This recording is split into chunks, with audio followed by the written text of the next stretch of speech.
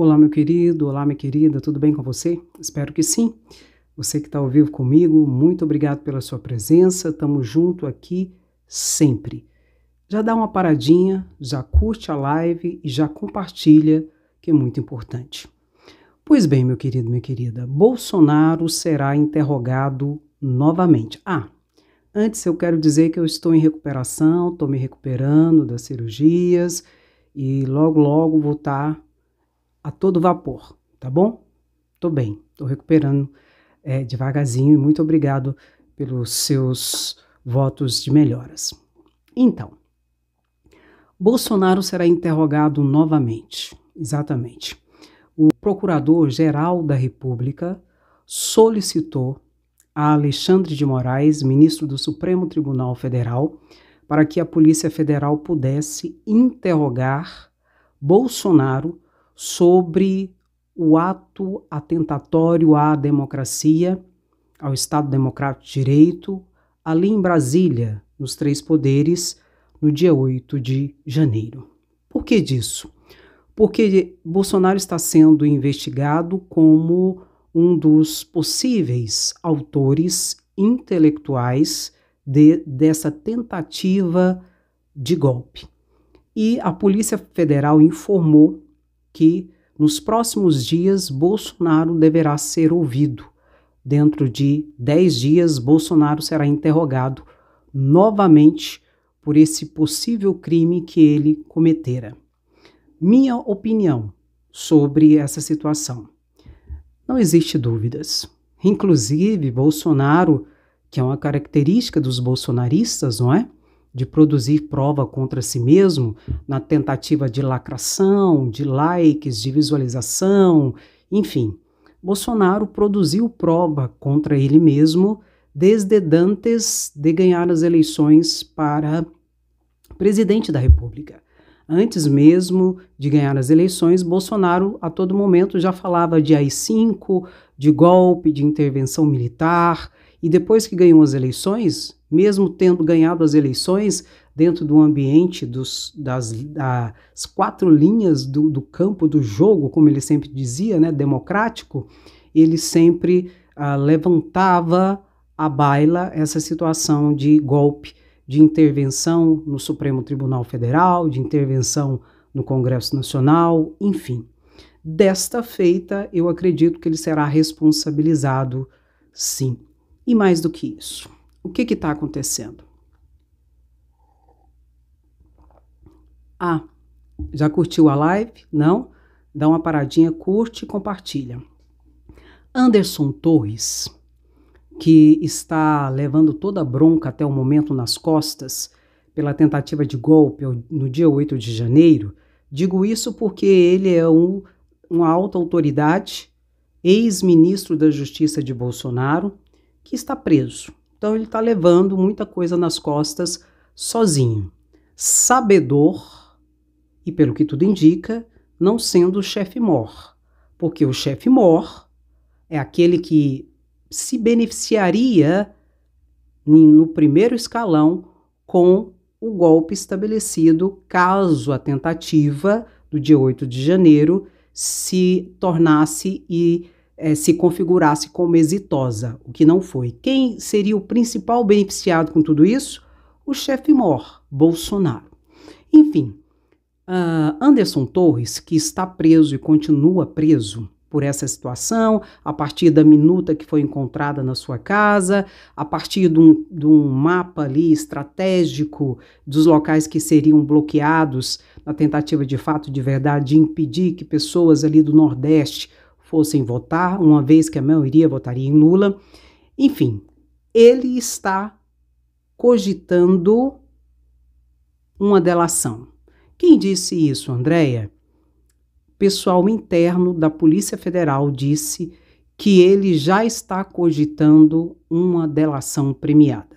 Delação premiada é quando a pessoa resolve abrir o bico, resolve mostrar quem são as outras pessoas envolvidas no crime e desta feita, a partir desse acordo com o Ministério Público, a pessoa que entrega os outros tem a sua pena diminuída, abrandada, ou seja, as consequências da sua pena são menores do que seriam caso ela não abrisse o bico. E vou dizer para você, Anderson Torres não vai carregar por muito tempo tudo isso que ele está carregando nas costas sozinho. Não vai. E quem ele vai entregar, Andréia? Eu que te pergunto. Quem era patrão dele? Quem era o chefe dele quando ele era ministro da Justiça? Bolsonaro. As coisas são tão lógicas, tão claras, não é? Que, que às vezes é difícil a, a, entender como algumas pessoas não entendem todo o processo e, e não vê toda essa dinâmica. Notadamente quando existe bolsonaristas por trás que só vê aquilo que lhes interessa, né? Ou seja, propagam mentiras, desinformação e só enxergam e entendem aquilo que bem lhes satisfaz, não é? Enfim, então é essa situação. E a inelegibilidade de Bolsonaro virá primeiro, sem dúvida nenhuma, a inelegibilidade de Bolsonaro virá ah, ali no Tribunal Superior Eleitoral, com certeza, primeiro, notadamente pelo abuso do poder político, quando ele teve ali uma reunião com os embaixadores para falar contra a democracia e contra as urnas em ano eleitoral, em que ele fora eleito por essas mesmas urnas em 2018. Então, a inelegibilidade de Bolsonaro virá primeiro. Mas eu quero saber quando é que a cadeia para Bolsonaro virá. E aí? Quando que Bolsonaro será preso? É isso que a gente quer saber. Comente aí, quando Bolsonaro será preso? É isso que eu quero saber. Esse é o meu comentário. Porque fica parecendo que a gente vive numa república de bananas, onde o judiciário não funciona, onde o judiciário é inerte, não é? Mas eu acredito no judiciário, sim, em sua grande maioria, claro. Tem situações que não dá para acreditar, e eu vou comentar um aqui com vocês daqui a pouco, mas eu acredito em grande maioria no judiciário e espero sinceramente que Bolsonaro responda sem anistia por todos os seus atos criminosos e que ele pare na cadeia. Justiça já, sem anistia, Bolsonaro na cadeia. Comente assim que esse é o nosso desejo. E eu vou manter você sempre muito bem informado sobre tudo isso. E eu espero sinceramente que Anderson Torres abre logo a boca não é? Quem sabe Anderson, Torres antecipe a prisão de Bolsonaro, não é?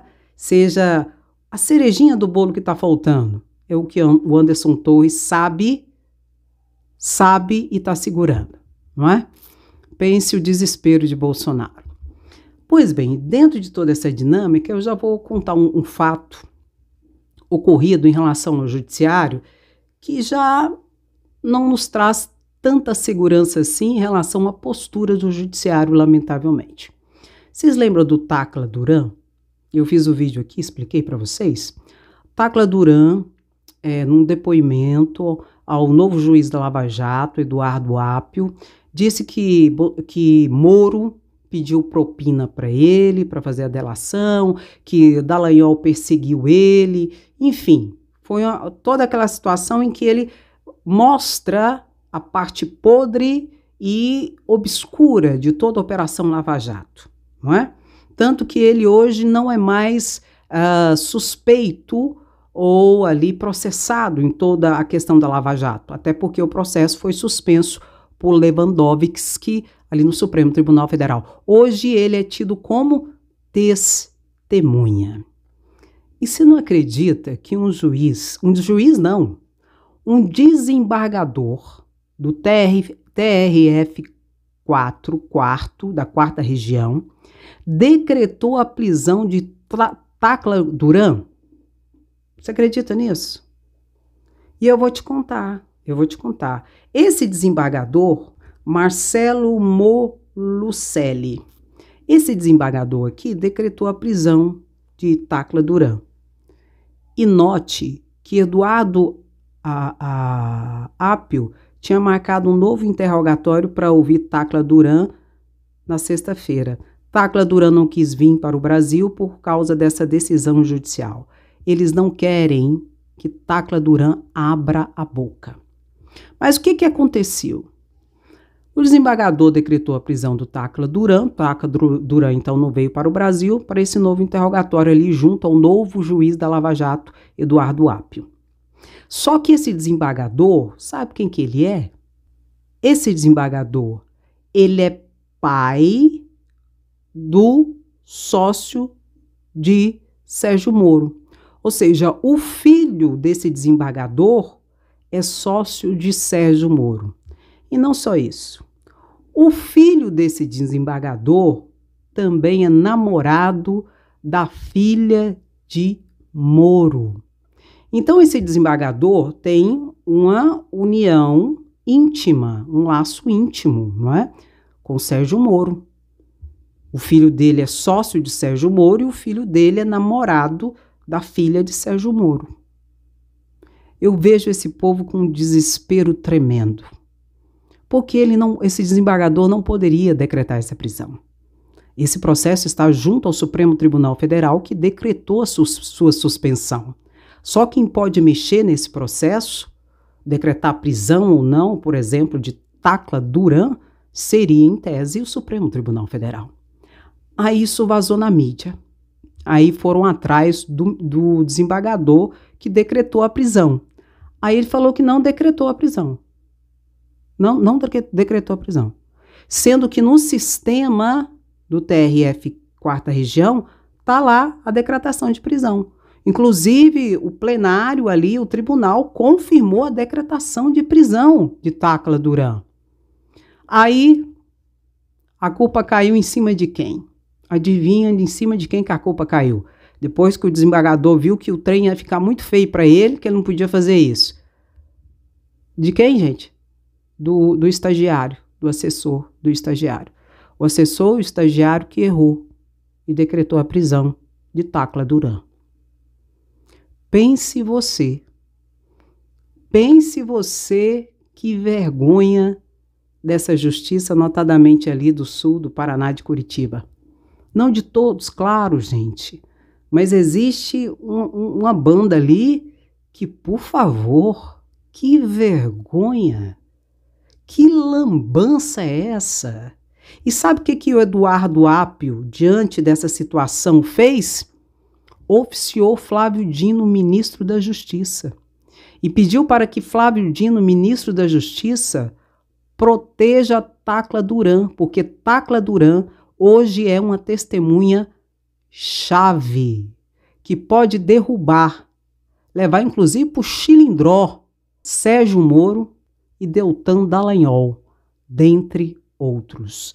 Então, percebendo tudo isso, o juiz do que restou da Lava Jato, o novo juiz, pediu para o Ministério da Justiça adotar as medidas necessárias para garantir a proteção para não aceitar coação ou intimidação sobre o advogado Tacla Duran, que hoje é uma bomba para Sérgio Moro e para Deltan Dallagnol porque ele disse que tem provas e que vai apresentar. Ou seja, Tacla Duran tem que ter proteção 24 horas por dia. Proteção à testemunha, que hoje ele é testemunha. Pense você que vergonha. Sérgio Moro, Sérgio Moro, sua hora vai chegar. Comente assim. Sérgio Moro, sua hora vai chegar. Deltan Dallagnol, que vergonha. Esses seriam os meus comentários. Sobre esse juiz aí, esse desembargador que decretou a prisão, eu nem falo nada. É tão esdrúxulo, tão absurdo, que eu fico assim espantada de que isso ocorra. Mas ocorreu, lamentavelmente. E você precisa saber de tudo isso, a gente precisa entender e conhecer tudo isso. Então, por isso, eu peço para você compartilhar esse vídeo que é importante dá uma paradinha e curte. Enquanto existe, né? Isso é, engraçado que esse é básico, né, gente? Em qualquer campo, seja no campo político, seja no campo religioso, seja no campo da administração pública e seja no campo do judiciário. Existem os bons, os probos, mas existe a banda podre. A banda que pode estragar tudo. E infelizmente é isso que nós estamos vendo. Mas graças a Deus que a banda podre está sendo revelada. Os sepulcros estão sendo abertos e as verdades estão sendo expostas. Fede às vezes, ou muitas vezes, não é? De tão triste e caótica que é, mas é necessária, é pedagógica. E que se faça justiça, seja no caso de Bolsonaro, seja no caso de Moro e Deltan Dallagnol. Nós queremos justiça. Compartilhe esse vídeo e comente. Nós queremos justiça. E esse vídeo é só para mostrar e, e, trazer essa consciência, essas informações para todos nós, que é muito importante, que gera cidadania e conscientização consequentemente. Tá bom? Você que está ao vivo comigo, meu querido, minha querida, beijo no seu coração, gratidão sempre. E sempre que possível, eu estarei aqui junto com vocês conversando, falando, explicando, enfim, sempre juntos aqui com você, tá bom? E em retribuição, o que eu peço, além do seu carinho, do seu amor, enfim, eu peço que você compartilhe, eu peço que você curta e deixe o seu comentário, tá bom? Que eu leio todos. Não consigo responder todos, mas eu leio todos, tá bom? E se você não é inscrito no canal, se inscreva, viu? Mas antes, você que está no chat comigo aí ao vivo, obrigado, viu, minha querida? Beijo no seu coração, gratidão sempre. Meu querido, muito obrigada, viu? Vocês que dão todo sentido para esse trabalho aqui, tá bom?